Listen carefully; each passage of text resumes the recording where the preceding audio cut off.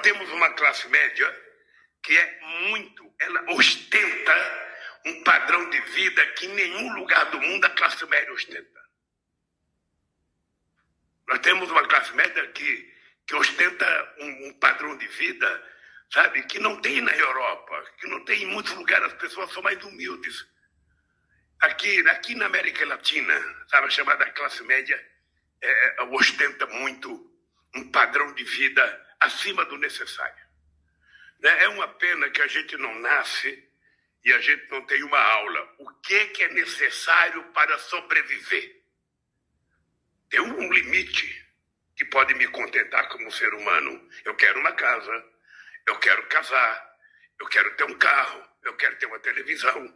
Não precisa ter uma em cada sala. Uma televisão já está boa. Eu quero um computador, eu quero um celular.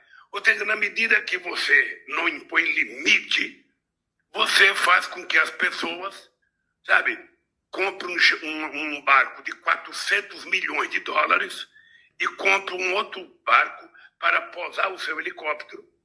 Sabe? O que, que faz uma pessoa com um barco de 400 milhões de dólares?